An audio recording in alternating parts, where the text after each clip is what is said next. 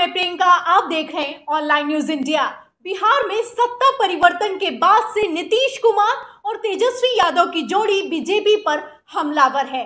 कभी मंच से हमला किया जाता है चैलेंज किया जाता है तो कभी विपक्ष को एकजुट किया जाता है।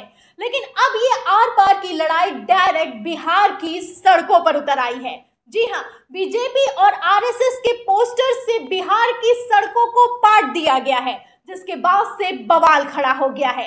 क्या और क्यों बवाल खड़ा हो गया है? इसके लिए जो पोस्टर्स लगाए गए हैं, उनकी तस्वीर आप अपनी फुल स्क्रीन पर देखिए। आप तस्वीर में देख सकते हैं कि कैसे पोस्टर्स बिहार की सड़कों पर लगाए गए हैं। इसमें नीतीश कुमार की तस्वीर लगाई गई है, तेजस्वी यादव की तस्वीर लगाई गई है। इसके साथ ही पार्टी के अन्य नेताओं की तस्वीरों के साथ बीजेपी और आरएसएस का फुल फॉर्म लिखा हुआ है। इसी को लेकर बवाल खड़ा हो गया है। आप देख सकते हैं कि इसमें साफ़ साफ़ लिखा हुआ है, बीजेपी का फुल फॉर्म है बेच कर जाएँगे पूरी और उसके साथ आरएसएस पे लिखा फुल फॉर्म लिखा हुआ है, राष्ट्रीय सरकारी संपत्तियाँ।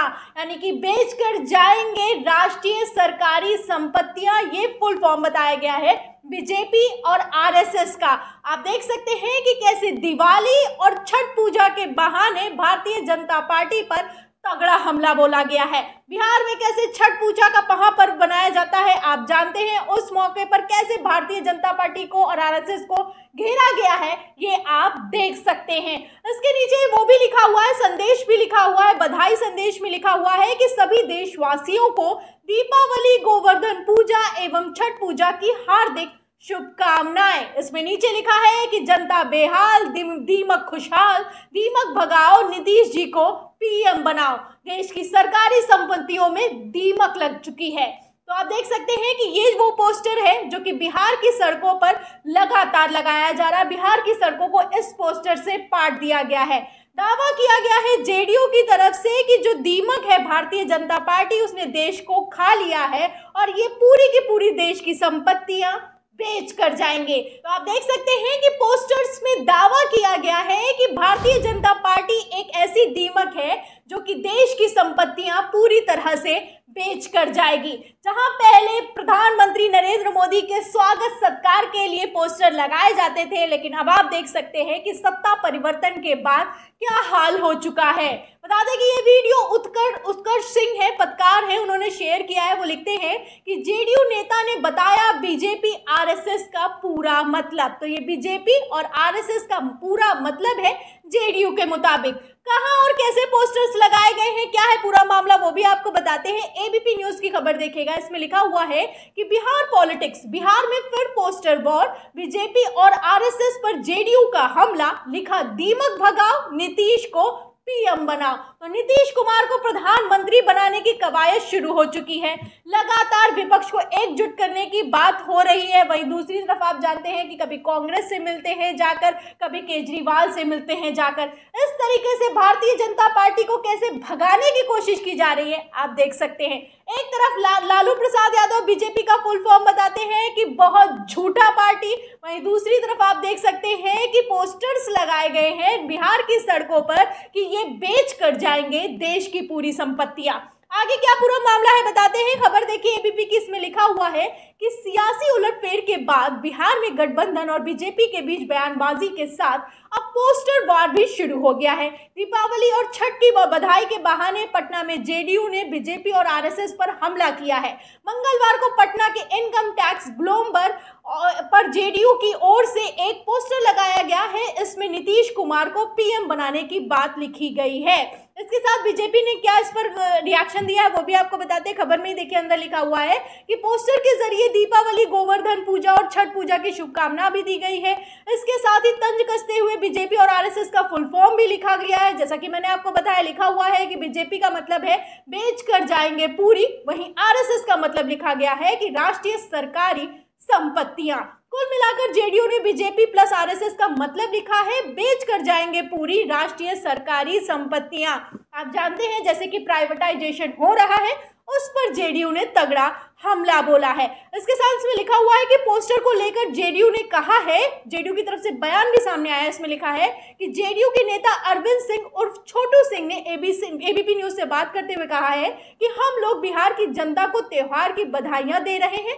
इसके साथ साथ बीजेपी के कारनामों को भी जनता के बीच पोस्टर के ज़रिए दिखा रहे हैं। मुख्यमंत्री नीतीश कुमार ने जो काम किया है उसने बिहार को अलग पहचान दी है।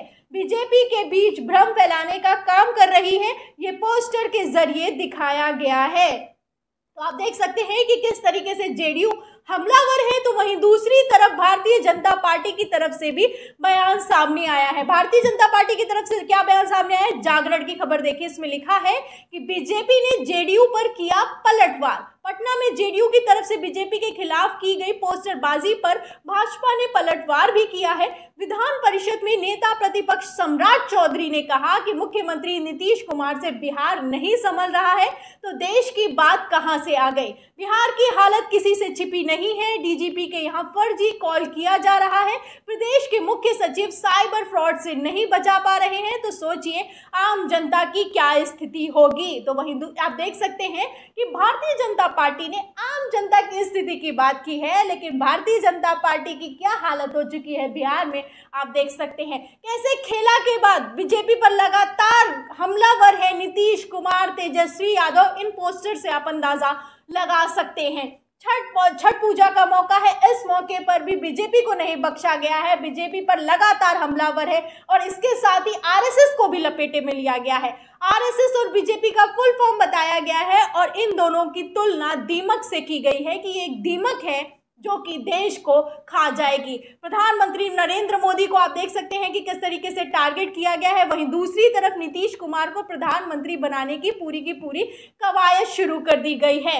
ये जो पोस्टर्स हैं, जहाँ एक तरफ़ बिहार की सड़कें इनसे पटी पड़ी हैं, वहीं दूसरी तरफ़ सोशल मीडिया पर भी ये तस्वीरें लगातार वायरल हो रही हैं। लोग तरह तरह के कमेंट कर रहे हैं कि भारतीय जनता पार्टी ने देश को बेच दिया है, देश बर्बाद कर दिया है प्राइवेटाइजेशन इतना चरम पर है, बेरोजगारी लगातार बढ़ती जा रही है।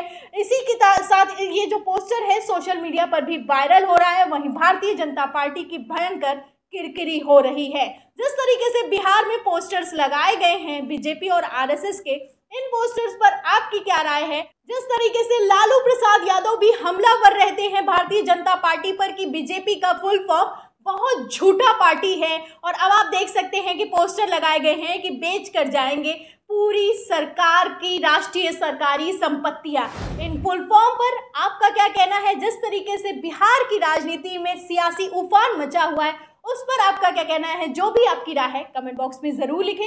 वीडियो को ज़्यादा से ज़्यादा शेयर करें। सब्सक्राइबर बटन दबाएँ बेल दबाएँ ताकि हर खबर की नोटिफिकेशन आप तक पहुँचती रहे। फिर मिलते हैं अगली खबर के साथ। तब तक के लिए धन्यवाद। इस खबर को अभी लाइक करें शेयर करें।